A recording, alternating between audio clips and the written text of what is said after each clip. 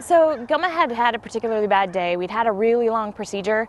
Um, he was so weak and so dehydrated that he was having trouble maintaining good blood pressure. Um, he also had very low hematocrit, so he didn't have a lot of blood cells carrying oxygen. Um, we'd have you know, during the procedure, there were four or five vets, and everything we could do, every, every piece of equipment, every expert that could possibly be there. But it took all of them to keep him going, and it was still a really high-risk procedure. Um, and so during that exam, the vets were all really, really concerned, and we just we'd done everything we could think of, and we were just running out of options on how to help him.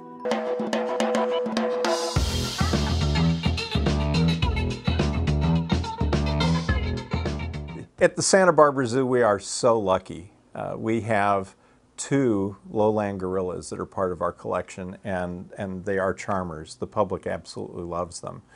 And so, what is it about gorillas that just makes them uh, such an important part of, of a zoo experience? And some of that may be that they remind us of ourselves, and some of it could be that that they are active and fascinating and they do interact with people. And they get a lot of attention, a lot of efforts put into the enrichment and care of these animals.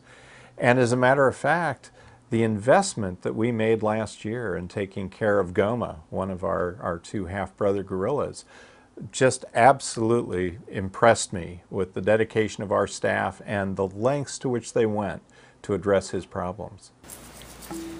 So Goma is one of our western lowland gorillas here at the Santa Barbara Zoo. Uh, he's currently now 22 years old. Um, he weighs a little over 400 pounds and he came to us with his half-brother Kivu from the Buffalo Zoo. So we noticed that Goma didn't quite seem himself. His appetite was low, he was generally lethargic, and his stools were a little soft and this had gone on for a few days. So at first our first impression was, oh, okay, you know, we, he, we made it through winter and he didn't get sick, but maybe he's picking up on one of his his yearly colds. So we tried him on some anti-inflammatories for that, but it had no effect. He progressively got worse over the next couple of days and at that point we knew we had to intervene. He could barely get up and walk from stall to stall. He hadn't eaten anything in a long time. For a 400 pound gorilla to not eat food for two days was, was definitely a big concern for us. The zoo's vet, Dr. Barnes, wants to run blood tests on Goma and give him some fluids intravenously. However, anesthetizing a 400 pound creature is a big job and requires lots of equipment. The team sends Goma's blood out to several labs to be analyzed, including a human lab where pathologists will review the blood films. IV fluids help rehydrate Goma. The team also collects fecal swabs for testing. His stools have fresh blood, which Dr. Barnes determines is hemorrhaging from Goma's lower intestinal tract.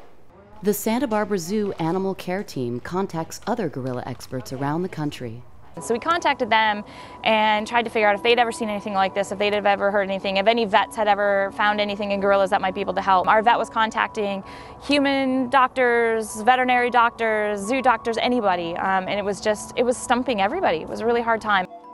Goma's red blood cell count is extremely low, so Dr. Wells attempts to get a bone marrow sample to see if Goma is regenerating red blood cells.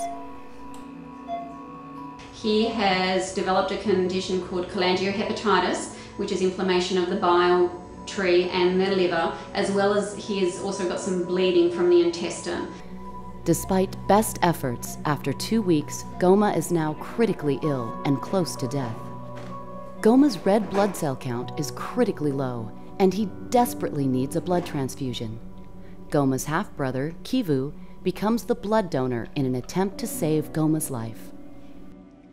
Large primates are more difficult. They know what's happening. They like to try and deflect the dart with their arms. They like to try and grab it, and when it goes in, they like to pull it out and throw it back at you sometimes. So yes, and they do get very upset.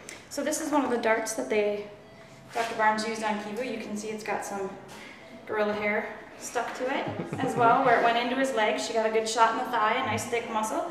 Um, he pulled it out right away, so you can see there's still some medication in there. And then when he pulled it out, he chews on it a little bit on this little plastic end, and then he hands it back to you. Kivu proves challenging to dart. But Dr. Barnes' aim is true, and Goma's half-brother is now sleeping soundly. You can take from the same species and give a blood transfusion at least once to help an animal, um, but by the second time the body starts building up antibodies, so you'd actually have to type it. So it doesn't matter if they're the same blood type or not. We don't even know what blood types gorillas have, but we know we can at least safely use gorilla blood from Kivu to help Goma get better, at least one time. At this point, Kivu's blood is Goma's best hope for survival. Dr. Barnes begins the first gorilla blood transfusion she's done in her career. During the procedure, there were four or five vets, and everything we could do, every every piece of equipment, every expert that could possibly be there. But it took all of them to keep him going, and it was still a really high risk procedure. And so that night, it was pretty late. We could tell he was really weak. He was having a hard time waking up from the anesthesia. And so all of us were sort of in the room watching him wake up and just realizing that's kind of the time when it hit us about how weak he really was and how sick he really was. Is that everything we had done for him he just he could barely even wake up from the anesthesia. He was comfortable, he was warm, he'd had all the medicine and all the fluids and all the food we could possibly give him.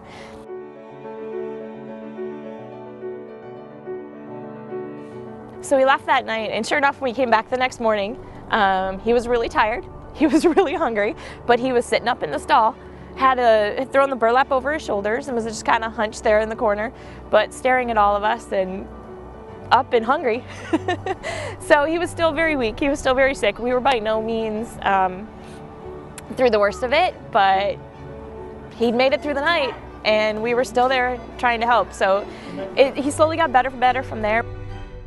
So there is no doubt that the blood transfusion from Kivu saved Goma's life. Without that blood transfusion, he is very unlikely to have survived another 24 hours. His hematocrit is up from 8% to 23% in exactly seven days. It's unusual, or it's very, it's quite rare to have an animal who is so critically ill and to have them come back to be a healthy individual again. So that is sort of one of my greater achievements, but I really put it all down to Goma. He's the one who was critically ill and on the verge of death, and he's the one who came back.